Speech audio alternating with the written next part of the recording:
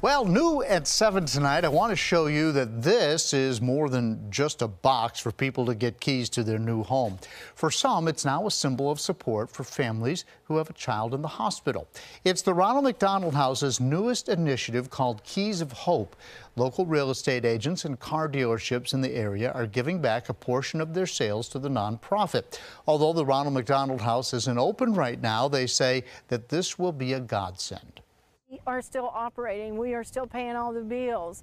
We're providing the families lunch bags at the hospital in the NICU and the pediatric unit. Today was the first day of this partnership. The goal is to raise $100,000 with this campaign.